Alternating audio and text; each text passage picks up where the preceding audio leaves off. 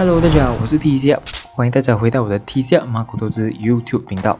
我开启了一个新的影片系列，叫做 Tech 你看科技，专门带大家一起了解大马的科技股。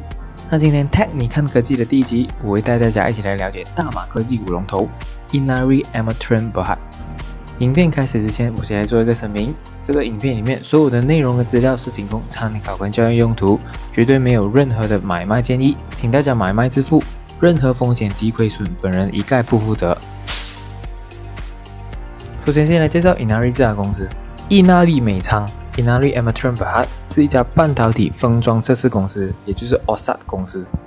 而它主要是针对射频芯片 （Radio Frequency Chips），同时它也涉足光纤收发器、光电传感器等等产品。以南瑞这家公司同时也从事 EMS 电子制造业务。那么现在我给大家大概知道一下射频芯片 （Radio Frequency Chips） 到底是什么东西。Radio Frequency Chip 我们简称 RF Chip 或者是 RF 芯片。RF 芯片是无线通信系统的元件，它主要的功用是发送跟接收信号。在所有的智能电子设备，比如说手机、电脑、平板电脑等等里面，都有 RF 芯片的存在。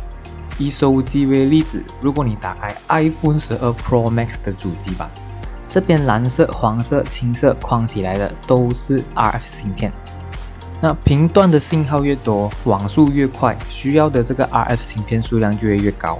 那这个 RF 芯片是 Inari 最主要的业务，但是 Inari 并不是生产这个 RF 芯片，它只是负责测试跟封装这一个 RF 芯片。那么 RF 芯片的生产商有谁呢？他们包括 Broadcom。C o v o Skyworks、Qualcomm 等等。那这里顺道提一提，跟 Inari 一样涉及测试跟封装的 OSAT 公司，也就是 Inari 的同行呢，具有 MPI、Unisem 跟 Gtronic 等等。二零零六年，Inari 在马来西亚的槟城成立，当时它只有一个二十六千 square feet 的工厂。来到今时今日，Inari 共有十间工厂，分布于马来西亚、菲律宾跟中国。总面积达一点八 million square feet，公司的员工超过五千五百位。二零零六年，Inari 建公司成立。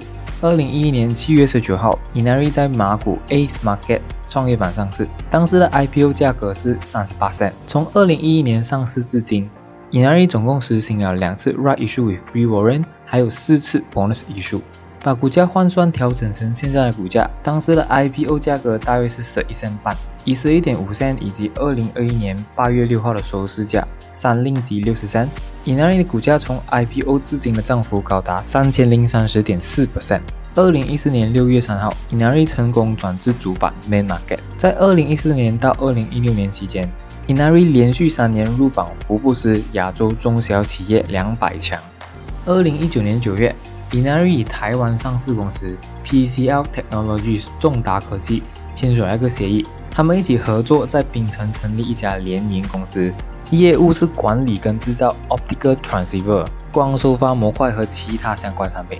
那在同年十月，这家联营公司就正式成立，它的名字叫做 PCL Inari Technologies Sdn Bhd。Inari 持有其三十 percent 的股份，而另外七十 percent 是由 PCL 持有。二零二零年八月十一号。Inari 宣布跟新加坡公司 MIT Semiconductor Private Limited 合作，在马来西亚成立联营公司，制造 Customized Semiconductor Process Tools 半导体工具。这家联营公司 Inari MIT Sdn Bhd 在九月二十四号正式成立。Inari 是持有其五十一 percent 的股份。根据 Inari 在二零一一年的 IPO 报告，当时它的最大顾客叫做 Avago Technologies。在二零一一年 Inari 上市的时候，Avago 是 Inari 的第四大股东，持有它九点八二 percent 的股份。当时持有 Inari 九点八二 percent 股份的公司，其实是叫做 Avago Technologies Malaysia Sdn Bhd，而这家公司是由新加坡的 Avago Technologies 持有。那他们的母公司呢，才是美国的这个上市公司 Avago Technologies Limited。二零一三年的时候，Avago 就售出 Inari 的股份，不再是 Inari 的大股东。二零一六年，Avago 收购了 Broadcom，并改名为 Broadcom Limited（ 博通）。Broadcom 是美国的上市公司，它是世界最大的 WLAN 无线网络芯片厂商。Broadcom 的主要客户就包括 Apple、HP、Motorola、IBM 等等。大家可能常常听到 Inari 跟 Apple 有关系，那这里我就稍微来讲解一下 Broadcom、Apple 跟 Inari 的关系。首先，Broadcom 会生产芯片，它要把这些芯片交给 OSAT 公司去做测试跟封装，而 Inari 就是其中一家。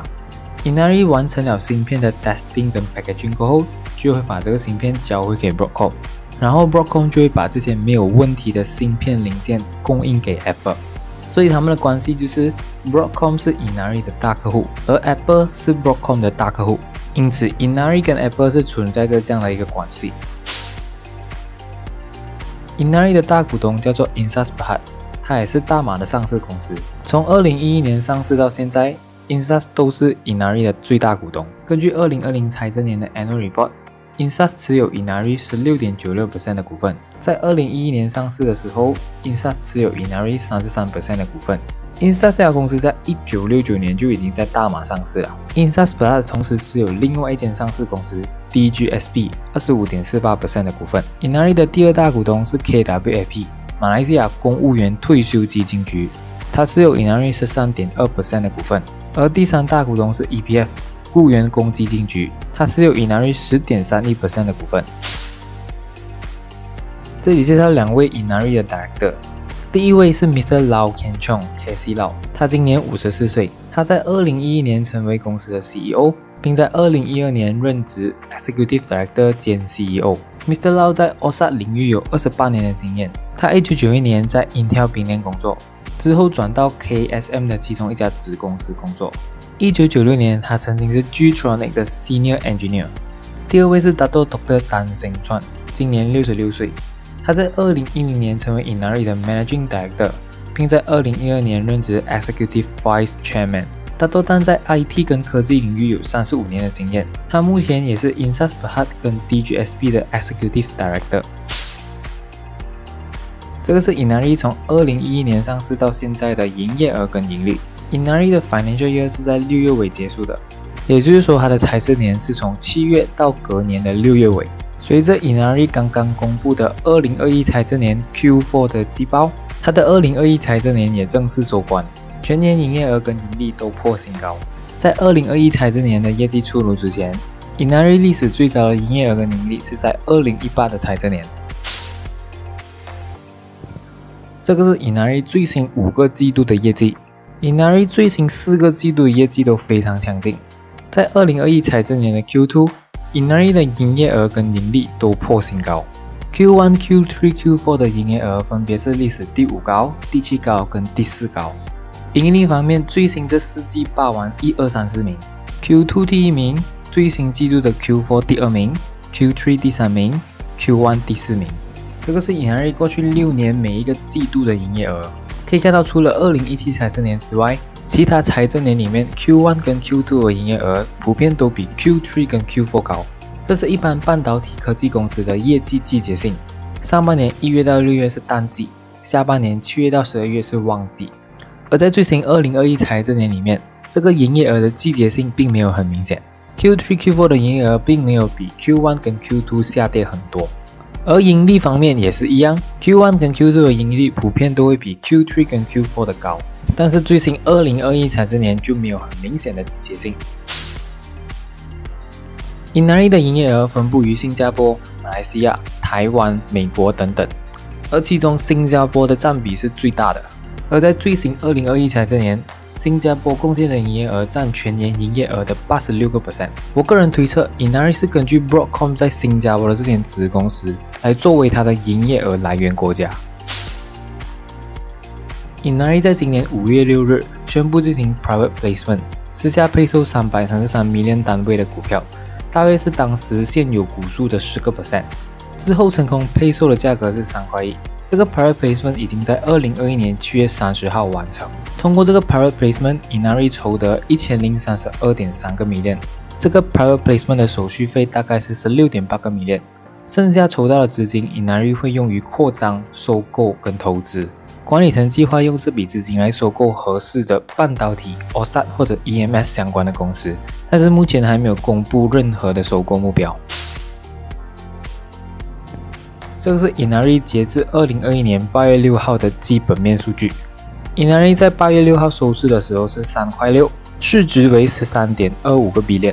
Inari 目前这个市值在马股排名第三十三。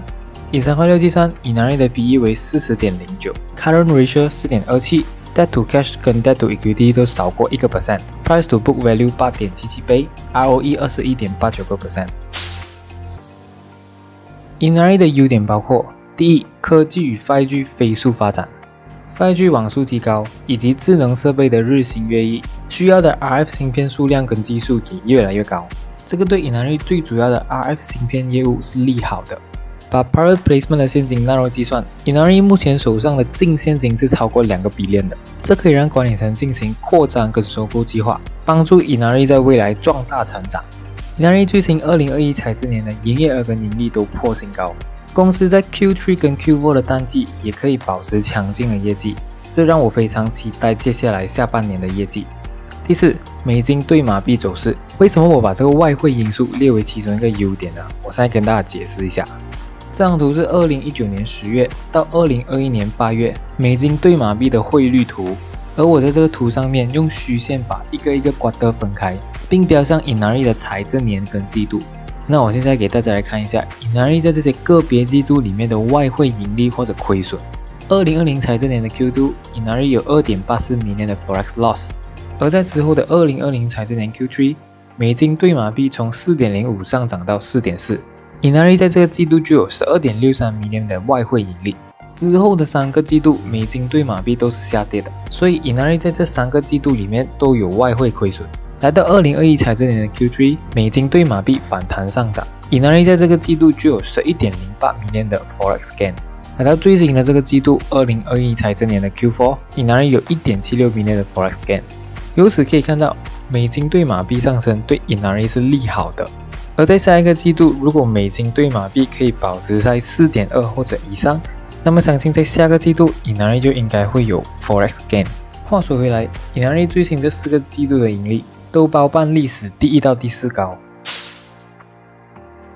Inari 目前面临的挑战跟风险就包括：第一，全球半导体市场。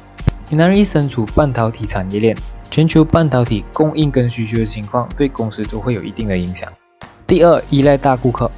根据2020年的年报，公司的两个大顾客 Customer A 跟 Customer B 所贡献的营业额高达一千零二十六点六个 million。而 Inari 二零二零财政年全年的营业额为一千零五十七点九五个 million，也就是说，这两个 major customer 所贡献的营业额占了全年营业额超过九十七个 percent。如果这两个顾客，尤其是 customer A 有什么问题，或者跟公司有什么不合的话，那么对 Inari 会有很大的影响。第三，疫情跟管制令，如果疫情继续严重，有公司确诊，或者是政府不允许公司运作的话，那么就会影响公司的业绩。第四。Inari 刚刚完成的 Private Placement 会把股权稀释，拉低 EPS 并提高 PE。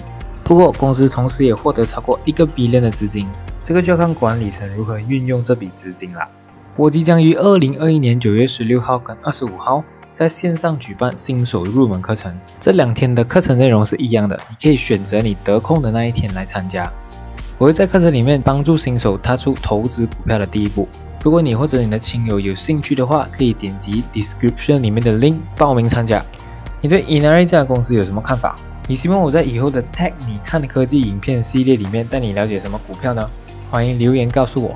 欢迎你 join 我的 Telegram channel，follow 我的 Instagram，还有 join 我的 Facebook group，他们的 link 都可以在 description 里面找到。谢谢你收看 Tech 你看科技，请 like and share 这个影片，还有一定要 subscribe 我的 YouTube 频道。我是 DJ，谢谢大家。